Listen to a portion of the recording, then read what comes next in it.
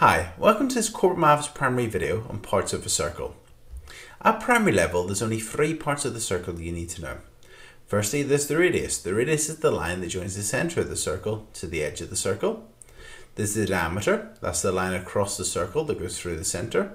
And finally, there's the circumference, and the circumference is just a fancy name for around the outside of the circle. Okay, let's have a look at three questions now. Okay, the first one. A coin has a radius of 17 millimeters. What is the diameter of the coin? Well, the radius is halfway across the circle, and the diameter is the whole way across the circle. So if we know what the radius is, if we want to find what the diameter is, we just need to double it, okay? We just need to add on another 17. So we can just do 17 doubled. Well, 17 doubled is 34. Or we could just do 17 times 2 or 17 plus 17. Any of those will tell us what the diameter of the coin is. So 7 plus 7 is 14. Uh, 1 plus 1 plus 1 is 3. So obviously it's 34 millimeters. So if we know the radius, to find the diameter, we just double it. So 17 doubled is 34 millimeters. Okay, our next question.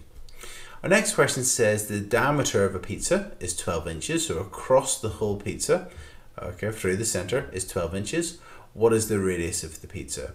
So if we know what the diameter is, to find the radius, we just need to divide by 2, because obviously we want to find halfway across the circle. So 12 divided by 2, 12 divided by 2 is 6. So the answer would be 6 inches.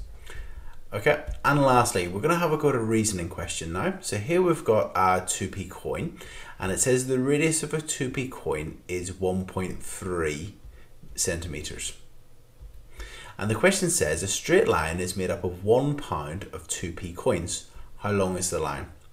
So first of all, if I was doing this question, I would want to know how many coins that would be in total. So one pound is 100 pence, and we just divide that by two because obviously two pence is how many coins there are. 100 divided by 2 is 50. So there's 50 coins in the line. So altogether there's 50 coins. And the question says how long is the line? So if we can work out the, the you know, how wide one of the coins is, if we times that by 50, we'd find the length of the whole line.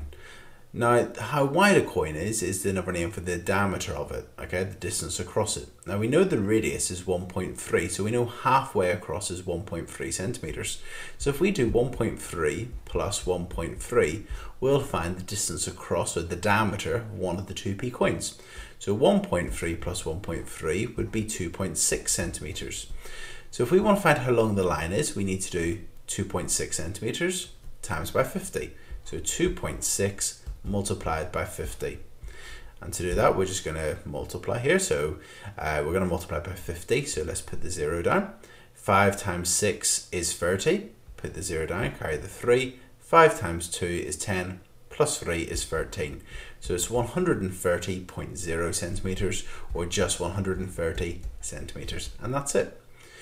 So in terms of the parts of the circle, the parts of the circle you need to know are the radius, that's from the center to the edge of the circle.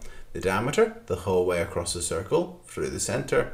And the circumference, the whole way around the outside of the circle.